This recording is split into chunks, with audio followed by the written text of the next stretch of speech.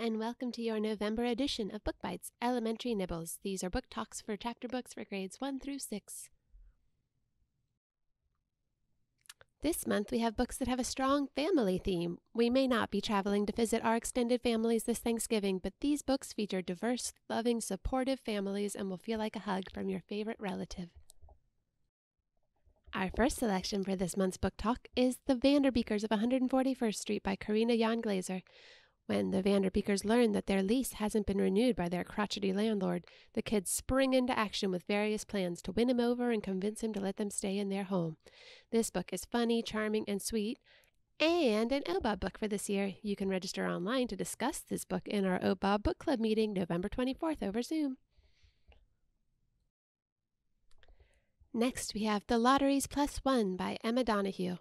After a lottery win, a family is formed by two couples buying a mansion together in Toronto. A gay couple and a lesbian couple eventually adopt seven children and homeschool them among five pets and 32 rooms. It's a vibrant, loud, silly household, but then a surly grandpa arrives for a stay and presents a challenge to our narrator Sumac's sunny life. This book is warm and diverse and focuses on love and acceptance. And the final book for this month's edition is The Misadventures of the Family Fletcher by Dana Allison Levy. In this book, four adopted brothers face a new school year full of changes. New schools that perhaps aren't all you dreamed they might be.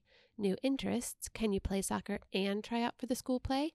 New friends that are possibly imaginary, told in alternating narration and full of humor, heart, and a lot of love. And this month, I'll be reading you the first chapter of. The Misadventures of the Family Fletcher by Dana Allison Levy. So here we have chapter one, in which we meet the Fletchers. There's a note. It's from the desk of Jason Fletcher. Boys, happy first day of school. Your lunches are on the counter. Please take the one with your name and only the one with your name so as to avoid allergic reactions, midday starvation, or the risk of throwing up due to the perceived grossness of your brother's lunch choices. Love, Papa.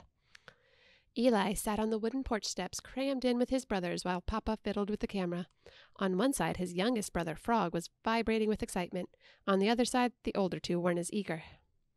Take the picture, Sam said through gritted teeth. Clearly, his patience with the fir- ritual of first day of school photos was wearing thin by sixth grade.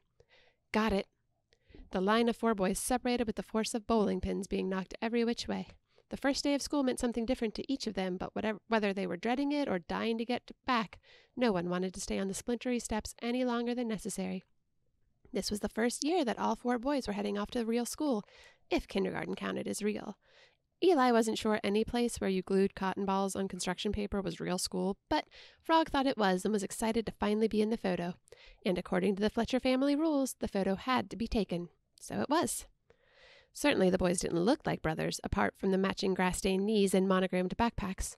Sam with his tan and his surfer shorts, Jax all elbows and knees and woolly black afro that he refused to cut, Eli slight and freckly pale with glasses, and Frog, the size of an average four year old despite being six. Frog seemed to have the energy of at least three six year olds, but in a very concentrated size. Eli fidgeted with his backpack and watched as Jax ran into the yard and punted the bright orange soccer ball that had been sitting in the middle of the lawn. It sailed neatly over the low shrub and into the new neighbor's yard, where it stuck deep in a prickly looking bush. No, Sam looked up from his phone screen. That's my favorite ball, and you know he's going to be a total jerk about it. Why'd you do that? He moved to slug Jax, but Jax dodged quickly out of the way. Eli figured Jax's speed always increased around 20% when he was avoiding being whacked by Sam. Sorry, I'll go grab it, Jax said. No, nobody go anywhere. Sam, we have approximately 3 million other soccer balls around here, and we need to launch. But, Jax, we have given repeated warnings. Papa's voice came from behind the porch chair where he had dropped his camera lens cap. I know you miss having the Ke- Kelleher's next door. We were all sorry when they moved. But for better or worse, we have Mr. Nelson now, and he does not appreciate the balls, street hockey pucks, and other items that you keep sending over. After the rather difficult conversation with Officer Hollis on Labor Day, the less we bug Mr. Nelson, the better. Eli knew he wasn't kidding. When the family had come home from their vacation last month, the Kelleher's house had no longer had the for sale sign swinging in front of it. Instead of a basketball hoop, the driveway now had nothing but an extremely shiny old Buick, and the yard, which had been remarkable only for the dandelions, was now all spruced up with what looked like hundreds of carefully transplanted flowers. Flowers that apparently weren't able to withstand the occasional ball. Old Mr. Nelson didn't seem as fancy as his flowers. He was kind of grizzled looking. He scowled at the boys when he walked his yappy little dog and ignored them the rest of the time. But calling the police on their sing along had definitely been what Eli's history book would call an escalation. Why couldn't someone cool with kids have moved in? Jax mumbled. Nobody bothered to answer him. Papa, is it time to go? Will my name tag say Frog? Frog jumped up and down in excitement. Or will it say Jeremiah? I hate when it says my real name. Don't worry, Froggy, said Jax helpfully. They'll probably just call you Doofus. They will not, Frog retorted. And Papa, do you think they'll keep the seat next to mine safe for Flair? He's coming today, too, you know.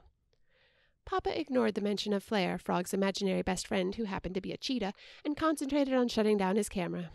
Eli agreed with this strategy. It was never a good idea to try to talk Frog out of his imaginary creatures. Once the camera was carefully placed back in its case, the launch began in earnest. This year, Sam and Jax would bike or walk together most of the time, but today, with all the school supplies, they rode with Papa. Eli had a little pang that he and Jax weren't starting fourth grade together. They had always been in the same grade at the same school, even if they hadn't been in the same class, and he would miss the comfort of having Jax nearby. But changing schools had been his choice. He wasn't going to worry about it now. Sam and Jax milled around, double checking binders and colored pencils, while Papa tried to figure out where he had left his keys. Frog, who was supposed to get in the car with Eli, was, ugh, licking his hand and smoothing down his dark wispy hair in an effort to make it stay flat. Finally, he climbed in and started to buckle his booster seat. Eli watched all this from his own seat, buckled in, impatiently waiting for Dad to get in and take him to Narnia, to Hogwarts, to Neverland. Eli was starting a new school this far, fall, one for gifted students, and he was more than ready. He opened the car door and shouted, Dad, you're driving me, right? I don't want to be late. Close the door. Flair is getting chilly, Frog commanded. Eli ignored him. I'm coming, Eli, Tom Anderson, known to the boys as Dad, answered as he walked down the driveway. He got into the van, clutching his coffee mug with one hand while trying desperately to shove his lunch into his briefcase with the other. We just have to drop Frog off first. You'll be there in plenty of time. I'm just hoping I will. I have a department meeting before my first class. But your school's on the way to Middleton, Middleton High. Sort of. Well, it's not in the opposite direction. He sighed, giving up and dropping the lunch onto the already cluttered passenger seat of the van. His coffee spilled slightly as it fell with a clunk on an acorn that was destabilizing the cup holder. Crap, Napple, he muttered, trying to keep the coffee off his papers. Dad, was that a rude word? Eli said, straining forward against his seatbelt. No rude words in front of us. You owe a quarter to the rude box. No, it was cranapple. There's nothing rude about cranapple. It's a kind of juice. Dad reversed the car out of the driveway. Okay, off to Froggy's kindergarten. I can't wait to see your classroom. Eli sighed. It had been four months and 28 days, or approximately 216,000 minutes, since he'd found out he'd been ad- admitted to Pinnacle. He guessed a little longer wouldn't matter. And that's the end of chapter one. And as I said, the book has alter, alter, alternating narrat- narrators, which means the next chapter is from the, the point of view of Jax. I hope you enjoyed feel free to check this book out in ebook, digital audiobook, audiobook CD, or physical form. I hope you've enjoyed this month's edition of Book Bites Elementary Nibbles. Another reminder that this month the OBOB Book Club will be discussing the Vanderbeekers and doing some trivia about the book on November 24th at 4 p.m., so feel free to join us. And as always, you can check out these three books and some other great family reads on our Bibliocommons list. Have a safe and happy Thanksgiving and a wonderfully cozy November. Thank you.